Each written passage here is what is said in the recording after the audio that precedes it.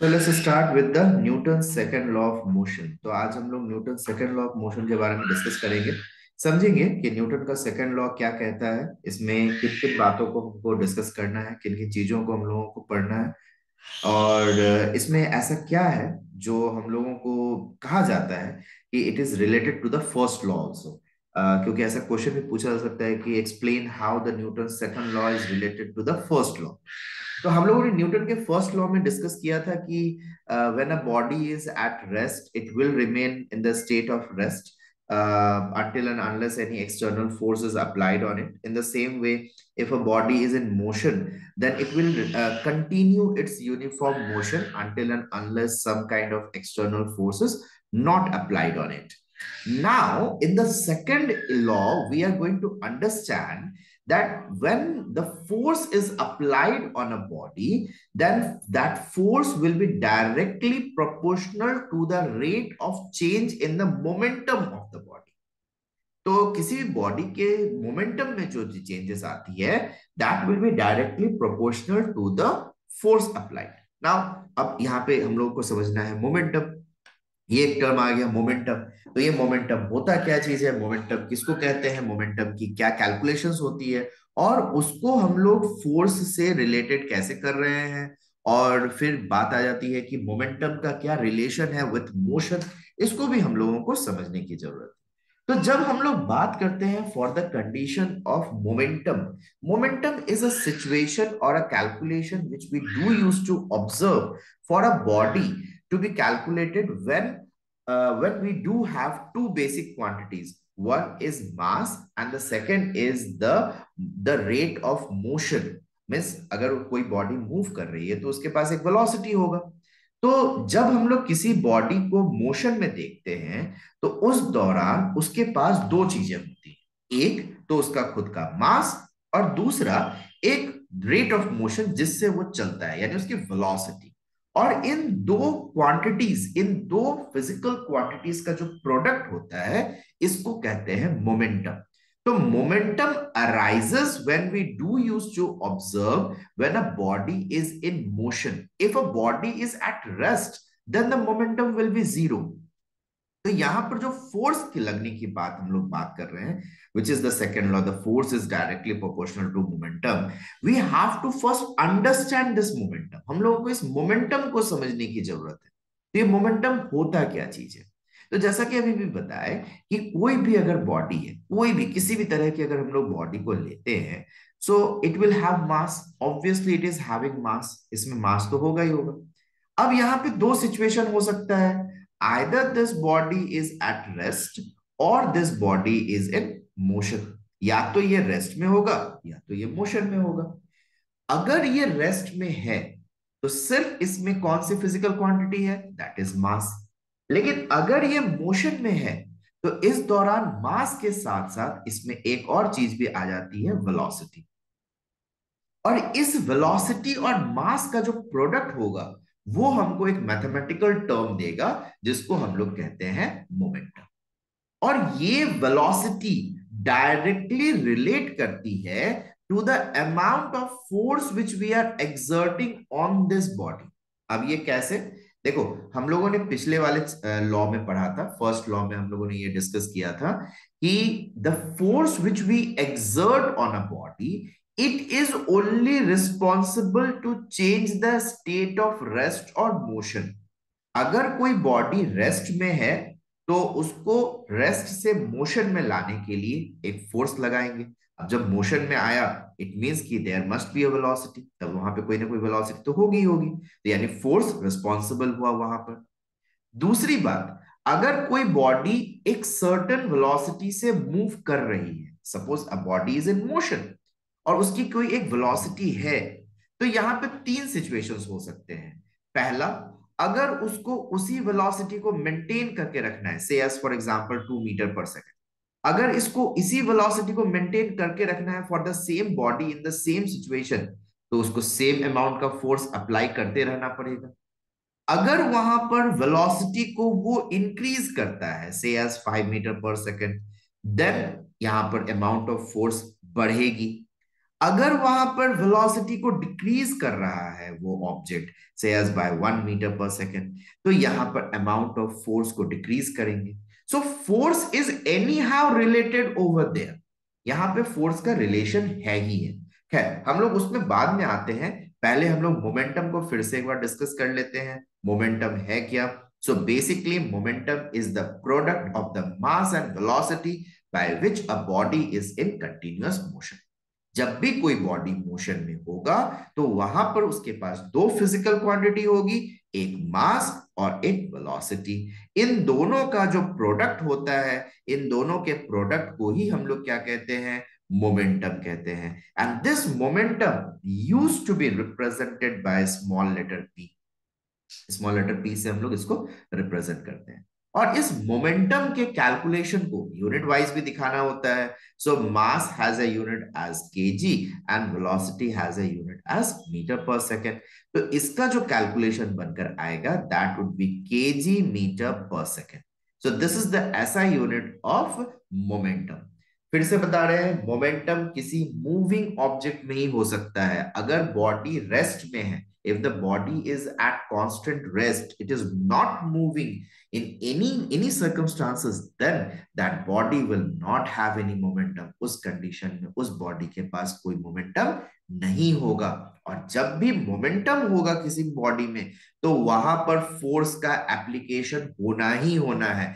Without applying the force we will not be able to experience the momentum और we will not be able to change the momentum यहीं पे आता है Newton का second law जहाँ पर हम लोग डिस्कस करते हैं the amount of force which is exerted on a body is directly proportional to the to the rate of change in momentum on a body जब भी हम लोग किसी भी बॉडी के ऊपर फोर्स लगाते हैं that is directly proportional to the rate of change in momentum understand i am saying the rate of change in momentum and when i say rate of change in momentum it means that the amount of change in momentum is uh, related to the time period कि जब हम लोग कोई देखते हैं कि कोई कोई रेट चेंज हो रहा है तो वहाँ पर किस तरह से टाइम पीरियड के साथ उसमें चेंजेस आ रही हैं that will be directly proportional to the force applied तो इसी टॉपिक को आज हम लोग यहाँ पर डिस्कस करने वाले हैं and with this one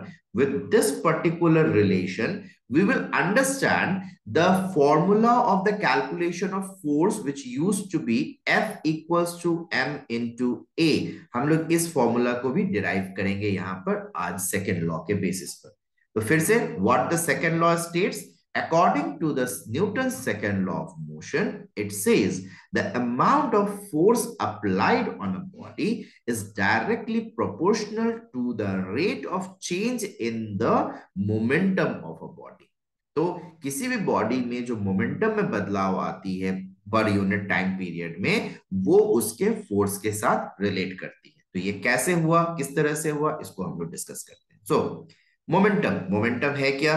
It is the product of mass and velocity if a body has a certain mass say as M इसकी मास क्या है यहाँ पर?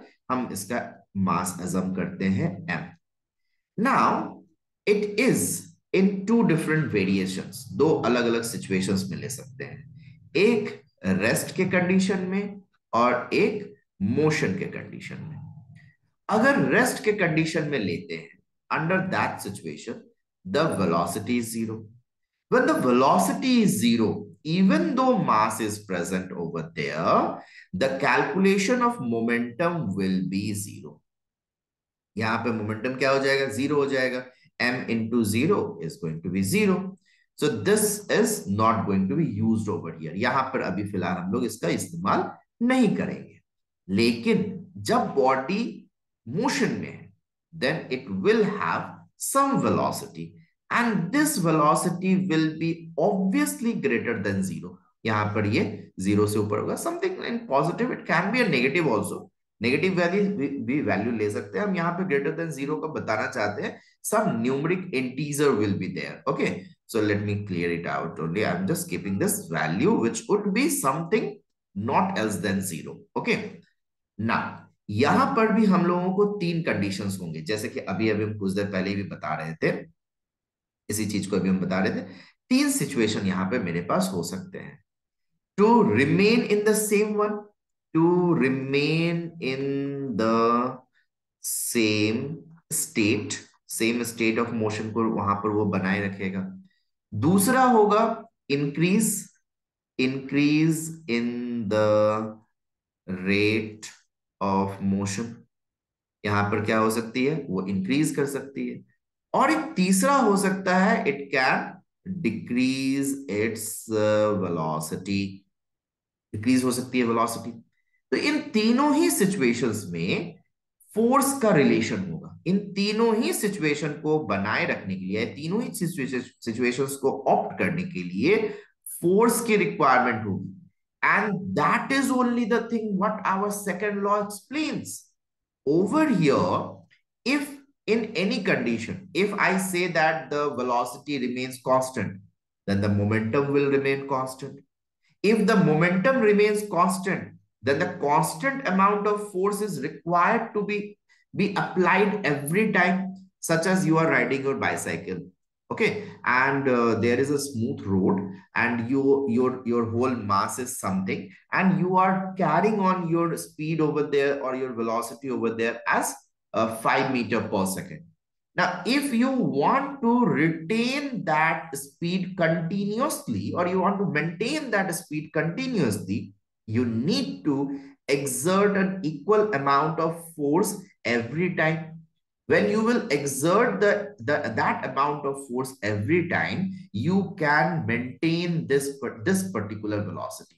Mass is constant. Mass is constant. If i will take the mass over there that is constant. That is not going to change. What is going to change? The velocity is going to change over here. Now, why I'm saying that the masses remain constant, I will just come to that one also because we had to discuss a little topic in that one also. So, as I said, the mass is constant. Now, why I'm saying this one, as I, I had I had given the example that you are riding your bicycle. जब तुम अपने bicycle को चला रहे हो, so you are you are just sitting on the on the bicycle. So the mass of the bicycle and mass of your body that makes us constant mass. वहाँ पे तो वो mass same है. लेकिन उस रोड पर same road है road में भी चेंजेस नहीं कर रहे हैं सेम रोड है सेम कंडीशन है लेकिन अगर सेम वेलोसिटी बनाए रखनी है तो तुमको एक सर्टेन अमाउंट का फोर्स कंटिन्यूसली उसमें सप्लाई करना पड़ेगा। अगर हम उस फोर्स को नहीं सप्लाई करेंगे what will happen it will slow down what we had experienced in the first law. First law में हम लोगों ने पढ़ा था कि if the body wants to remain in the same pace if the body wants to remain in the same constant motion then then then a force is required to be applied over there okay ये हो गया। तो यहाँ पर momentum भी same रहेगा। अगर यहाँ पर वेलोसिटी को डिक्रीज कर दिए, या वेलोसिटी को इंक्रीज कर दिए से आज यहाँ पर डिक्रीज करके इसको थ्री मीटर पर सेकेंड में लेकर आ गए और या उसको इंक्रीज करके सेवन मीटर पर सेकेंड में चले गए इन दोनों ही सिचुएशंस में हम लोग देखेंगे कि जो अमाउंट ऑफ़ फोर्स था प्रीवियस अमाउंट जो तुम्हारा केस वन का फोर्स था it is going to change over here it will decrease under the case of three meter per second and it will increase in the case of 7 meter per second. And with the decrease in the velocity or increase in the velocity, the amount of momentum is also going to change because the momentum was the product of mass and velocity. You had kept the mass constant, but the velocity is changing. So if the velocity constantly gets changed, then the numeric value of the the, the, the momentum will also change. Say as for example, I am assuming this, the mass is 50 kg. Okay, then in the three different case, so case one, when you were continuing with the same pace, then at that time, your momentum was 50 into 5. So that was 250 kg meter per second. When you had decreased your velocity, you had lowered down your momentum. Your momentum had been decreased down. So 50 into 3. So it is 150 kg per meter, meter per second. When you had increased your velocity, then your momentum has increased up over there. So it is 50 into 7, that is 350 kg meter per second. So when all these conditions were going on over there, once your, your velocity was constant, you were having same momentum. When your velocity decreased, your momentum decreased. When your velocity increased, your momentum increased. So this resulted to a different amount of force which is going to exert it at all these three cases. And the relation between the force for all these three cases gives us the explanation that the force is directly proportional to the rate of change in momentum. यहीं पर हम लोगों को discuss करना है तो जो second law में हम लोग डिस्कस कर रहे हैं तो अभी भी जैसे कि समझा चुके हैं, उसी चीज़ को बता रहे हैं तो the force is directly proportional to the rate of change in momentum तो rate of change in momentum का यहाँ पर मतलब देखो। तो जैसे जैसे समय बीत रहा था, वैसे वैसे मोमेंटम में भी जैसे बदलाव आ रहे थे, वो फोर्स के साथ रिलेट कर रहा था। अब यहाँ पर अगर इसको थोड़ा सा हम लोग एलोबोरेट करते हैं तो समझने की ज़रूरत है कि F is directly proportional to I if I if I just go break down this equation It will be delta m into v this is the symbol of delta i had explained this thing earlier also delta shows change delta symbol है change के लिए So over here, this is delta time. So time period में जो changes आ रही है. If I go with this equation, then there is a going to be a problem. Why, I, why I'm saying that there is a problem? if I will continue with this equation, then I have to write force is directly proportional to the change in mass into change in velocity, okay, upon change in time. Now, if I understand the change in time, that is okay. That is T2 minus T1. That, that is obvious thing. Time gets changed. It we do use to observe. Velocity also gets changed. Uh, final velocity minus initial velocity. That is also obvious thing. That is that used to change. But how do I say that the mass gets changed? Is it possible that the mass is getting changed over there? we know this thing that mass is a scalar quantity. Now, how it is possible that I can say that mass is, is changing over there? Mass can only get changed. According to Einstein, uh, it has been predicted, it has been found by him, or it been, been, real, uh, it, it been, been stated by him that if a body has a velocity almost equal to the speed of light, then under that case, the mass of the body can change. Otherwise, it will remain constant. Hence, the representation of the delta M is not so very correct over there. So we will correct it out and we will make the equation F is directly proportional to M as a constant value over there into the change in velocity upon change in time. Okay. Now, over here, if I will just uh, go for a solution for this, f is directly proportional to m. I'm taking it separately with the change in velocity with the change in time. Now, we had studied this earlier that the, this statement or this particular equation shows the rate of change in velocity. ये वाला जो particular equation है ये क्या दिखाता है? Rate of change in velocity rate of change in velocity का मतलब क्या होता है? A quantity of velocity changes along with the time period time period के साथ जब वेलोसिटी चेंजेस होती है तो उसको rate of change in velocity कहते हैं।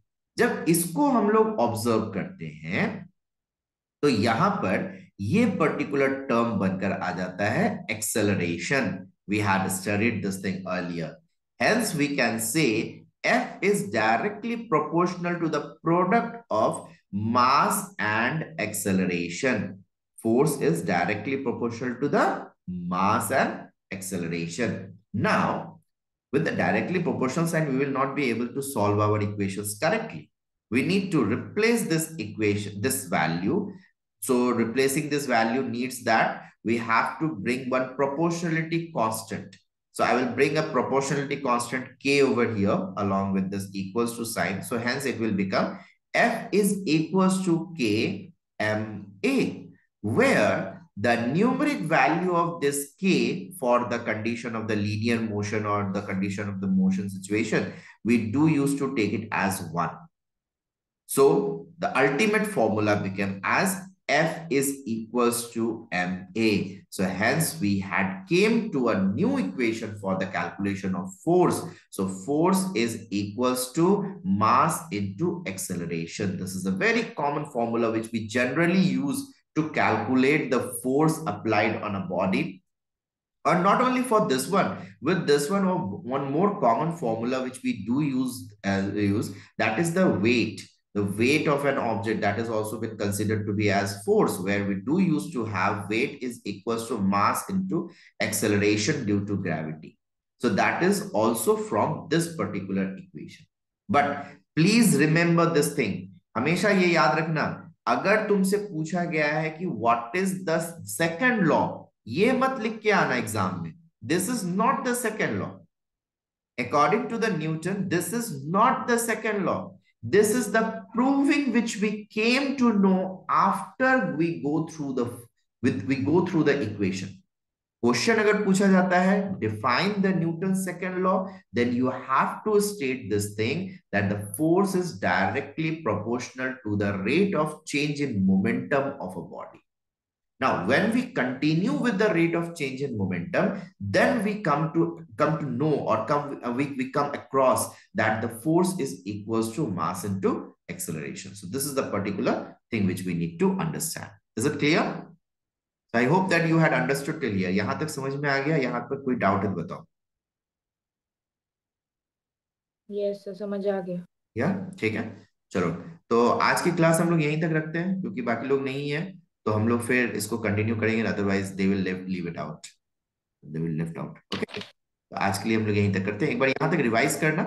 फिर कहीं पे कोई अगर डाउट होगी तो उसको हम लोग कल के क्लास में डिस्कस करेंगे। कल मोस्ट प्रोबेबली हम अपना क्लास भी रखेंगे और साथ साथ केमिस्ट्री क्लास भी करेंगे। ठीक है? Yes. So then good night for today bye